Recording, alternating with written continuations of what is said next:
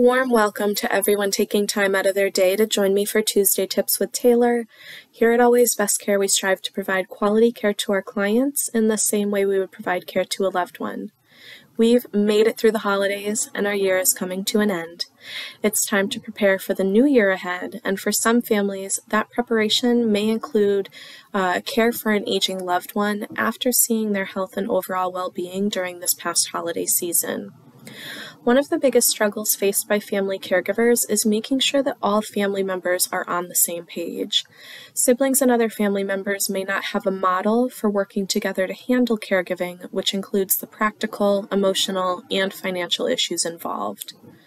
When looking to gain support from a sibling, it's important to remember these five things. First, Try to accept your siblings and your parents as the people they are, not who you wish they were. Just because they don't feel the same as you doesn't mean that they're bad people, and if you can accept them as they are, you're more likely to receive support from them or at least lessen the conflict. Second, ask yourself what you really want or need from your siblings. Maybe you need help with regular tasks like transportation for appointments.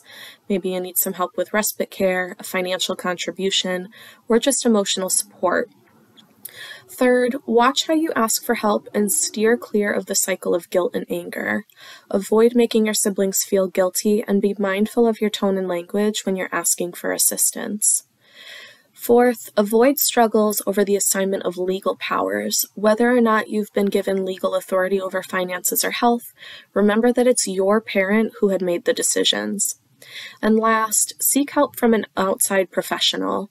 Even the healthiest of families can sometimes use the help of an objective professional.